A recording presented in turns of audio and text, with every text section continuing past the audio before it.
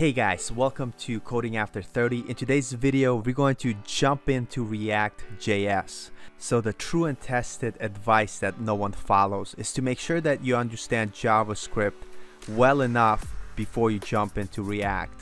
And I totally agree with that. Although there's never too much JavaScript, sometimes we spend too much time learning one thing and we are afraid to try something new. So in this video, we're going to put all that knowledge of JavaScript on hold for a second and try React. And some people will argue, well, Paul, aren't you doing a disservice because you're making somebody learn something that they're not ready for? And I'm gonna say you're absolutely right. But another thing that I believe is that you should try to step out of your comfort zone and try something new. You might be surprised of how much you accomplish. And guess what? If you do get stuck, you could always go back and learn just enough JavaScript to get unstuck and to move forward. Some people might say, well, Paul, you shouldn't do something that you're not really good at.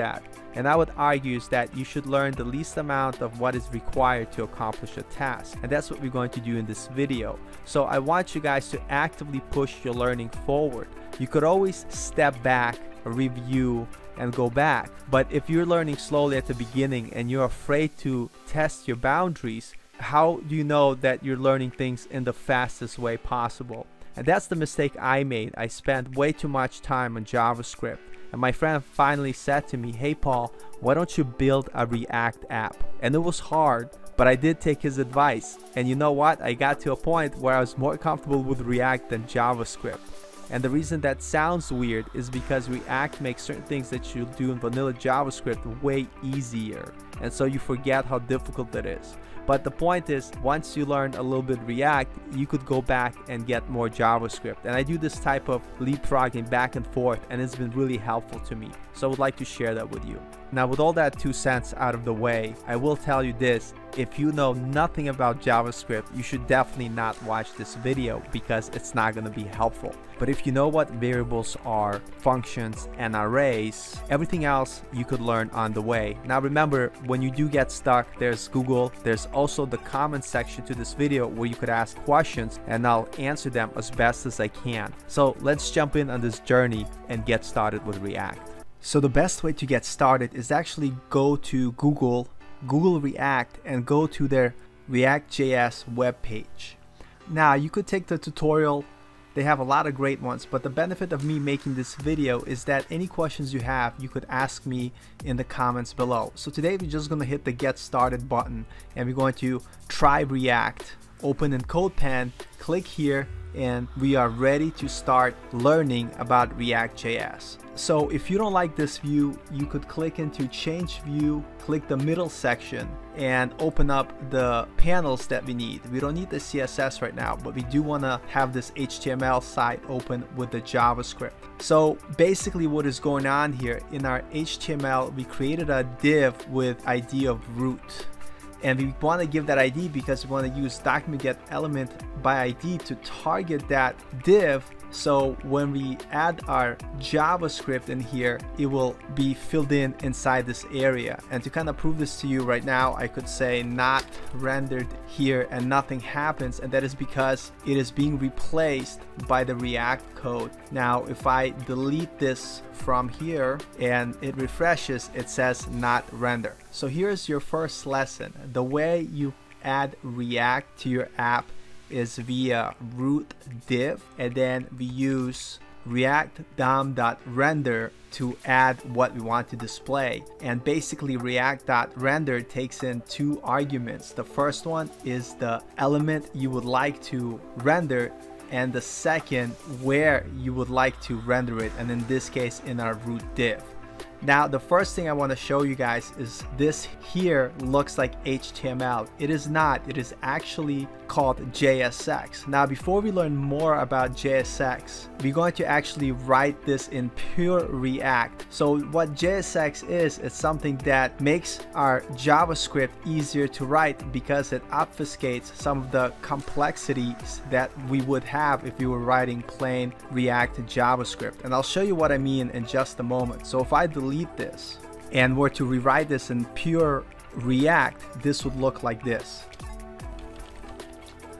So what React Create Element takes, it takes three arguments. The first one is what you would like to render. It could be a whole component, it could be an element. The second argument that we're going to add here is for the props or attributes that it can. And for this first example, we're not gonna have any attributes, so we could either put null or we could just put an open object. And the third thing that it takes is what we want to render inside all of the children. For instance, if I wanted to create that same example we had before, I would create my first element as a div.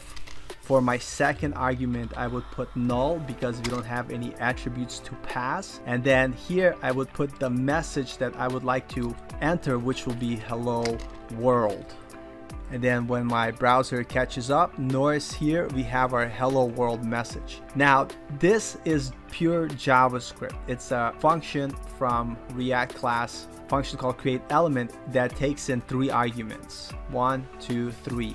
It takes what we want to render, any attributes that we want to pass into it, and what the children should be. And we're going to look at this in the documentation in a second, but I do want to show you the magic of JSX. Basically what it does, it takes our JavaScript and changes it into more human readable JSX. So I am able to write the same example and I'm going to copy that for now because I'm going to use it an example.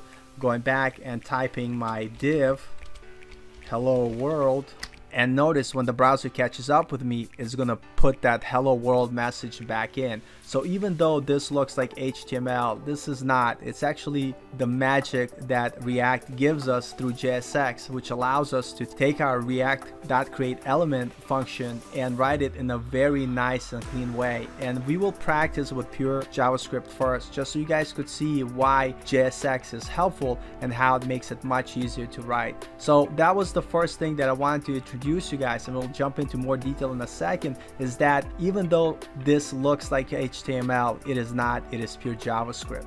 So whenever you get lost or get confused, it's always good to check out the actual documentation. And it's actually one of the best practices and skills you develop as a new developer is being able to read documentation and look things up on Google. So for React, reactjs.org is a pretty good place to start. Like I said, they have a lot of great tutorials. And here, Norris, in our React top level APIs, if you scroll down a little bit, you could see our create element. And if you click on it, it'll give you some more details. And sometimes reading that documentation is not as easy as people making out to be, and that's perfectly fine. So just keep it up, keep doing these tutorials. Remember, I'm making this video for you guys so you can ask questions, and I could hopefully give you answers so you don't feel like you're at it alone. And now I'm going to show you how our pure React code get transpiled to JSX and why this makes more sense, especially once you start doing nested divs And to do that, we're going to go to this website called Babel. So the best way to get here is to just go to babeljs.io or you could just Google the name if you're not sure how to spell it. Once you're here, uh, we're going to go to the try it out section and most likely it's gonna already be set to React. So what Babel does, it transpiles all of our new features from JavaScript and React to basic JavaScript that all the other browsers could understand. So here we could actually on the left side write our JSX. So remember again, it's not HTML, it's JSX and that will transcribe it to our create react elements that we just saw. So, so I'm gonna write that same example as before, div hello world just for consistencies but you guys as part of your homework will play around here and see what you guys could do so as you could see it took our JSX and transpiled it into our pure JavaScript or React JavaScript by using that same React.create element that we used before. So before we continue and get back to CodePen and play around and do some practice, I just want to add another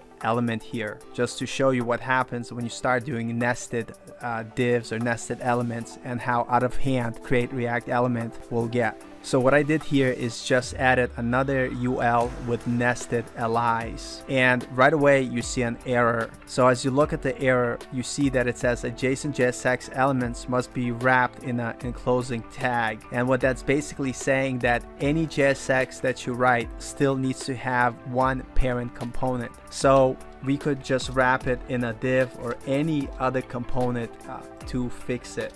And see the arrow goes away. Now let me back up here just for a second. I want to show you one more thing. Now another way you could fix that is by wrapping the elements in a fragment. There's two ways. The short way of making a fragment which is like this and that fixes the problem and the long way it still works it could be react fragment which nobody does anymore just because you see the shorthand but I just want to show you this here so if you run into this in the wild you know that that's okay. So again notice that makes the arrow go away. And for now I'm just gonna go back to our regular divs. So you could see that any parent element would fix the error. So now when we look at the printout you already see how messy this looks compared to this HTML-esque type of uh, layout even though this is all JavaScript. And that's the beauty of JSX it allows us to write very beautiful code which makes sense to us visually than worrying about writing this mess. And you don't see it so much here but there are nested react create elements within create react elements. And i'm going to show you this in a second. We're going to rewrite this same example but we're going to do it in our CodePen so let's jump back into it. Alright guys, let's recreate that example using React Create Elements. So we're going to delete this H1. Make sure you don't delete the comma because it needs to be there. So let's start. We're going to make our parent div first. React dot create element. We want this to be a div. For props, we could put null as none. And when you're passing multiple elements or multiple children, you want to do that within an array. So the second element within our div is going to be our header element. So react create element. This is going to be an h1, no props. And this is going to be hello world. Let's say you're awesome. All right, so now we have our header. Now let's add our unordered list. So we again going to use react.create element. We want UL for unordered list, no props. And because we want to have nested LIs, we're going to pass another array which is going to contain those nested LIs. LI for our list items, no props, and we want cat to be the first one. And let's use the power of copy and paste here. Don't forget the comma. Let's paste two times. We're gonna have dog, rabbit. And here you are, we have our You're Awesome Cat Dog Rabbit. Now look how it kind of looks neat. You could kind of make it look nice, but that was really complicated to do. So this is why we have JSX. And I hope your number one takeaway from here is number one, that you know that JSX is JavaScript. We see it here. And number two, that JSX makes it way cleaner and better looking when we type our code and it's very user readable. So this kind of doesn't make sense to me. So let's rewrite the same thing now with our JSX. So before we write it in our JSX, I'm also going to show you how to pass props. I decided not to show you how to pass props and attributes when using the React Create element because I just wanted to show you that that is a thing, that's what's happening, but you'll never ever use it. You will always use JSX. So now that you know that JSX is actually JavaScript that kind of looks like HTML, from now on we're gonna use JSX for everything we do. So let's rewrite the code that we wrote before. So first we had our parent div. Within that div we had our heading. I might have called it header before. Then we had our UL with our three items. Once again, power of copy and paste. And we had dog and rabbit. So notice all the effort we put in, we have the same output. Look how beautiful it looks. And at the end of the day, this is all JavaScript. So if I take this and go back to our Babel transpiler and paste it here, Notice how it gets transpiled back to our React Create element, just like we learned. So now you could see why JSX is amazing. It allows us to write clean code without worrying and being bogged down by what React is doing underneath the hood. So with that being said, in the next video, we're going to learn about props. And before learning about props, we're actually going to learn how to make our first component. So before I go in this video, I'm just going to create a simple component for you guys that we're going to render to our screen.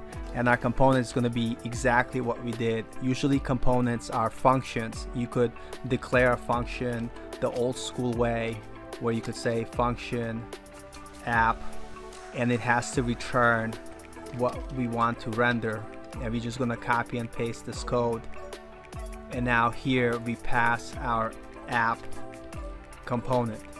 So in a sense a component is a function that renders some sort of markup to the view. You could also use class-based components but but there's been a move with react to do everything with function components. Another way to rewrite this is to use an arrow function. And again if you're not sure what arrow functions are just like i said before going over a simple javascript tutorial all you need is at least one and then you will be ready to jump into react so another way to write our components is using arrow functions. And we are going to return that same markup. And here you are. Talking about passing props I'm gonna the structure here call it a name. And I could go into my app and I could have a prop called name. And it will be let's say Paul my first name so now I could use that prop in my header and bam I lied to you. You guys have to put it in the brackets. And now you could see that Paul is being here and I could change that prop to whatever. And then you could see it boom right there. So guys thank you for joining me for this video. This is what we're going to learn in the next video talking about components and introduction to props. So your homework assignment is play in CodePen and see if you could write something first using React Create Elements and then rewrite the same thing using JSX and as a bonus, if you like, see if you could figure out how to use props with React Create Elements. So thanks for watching. I'll see you guys next time. So the point here that I'm trying to make, if you're looking at the screen and you're still confused and you're like, man, I should probably not learn this stuff. Um, that's normal. I mean, that's how I felt when I first started, and now things make sense to me more and more the more I practice. But the point is, if you don't start now, then you will always feel that way. The only caveat to this, if you have zero JavaScript experience and you have no idea what JavaScript is, then I would suggest doing a tutorial with HTML, CSS, and JavaScript and getting that out of the way. But if you have some JavaScript experience and we learn more JavaScript as we keep working on this React project, and things will eventually start making sense. The one thing that I want to tell you guys is that sometimes you just have to copy things without even knowing what they are. And that's why I don't mind when people start tutorials at the beginning. I mean, that's how I did it, where you copy the code, you have no idea what it is, and your website works or your thing that you build works because you copied someone else's example. And the goal is, is to do enough of those that you will start to actually make sense of what it is that you're doing. But at the beginning, it's perfectly fine. And also check out the React documentation just browse through it. You don't have to understand everything. Like the whole point of this video series is for me to start introducing you guys to react and most importantly for you guys if you have questions to ask me questions in the comments. Eventually i'll have a designated facebook group where we could all like a study group where we could all talk and discuss the projects that we're working on on this channel. But for now just leave it in the comments. If you have any questions don't be shy asking them. And as always thank you for watching and i'll see you guys later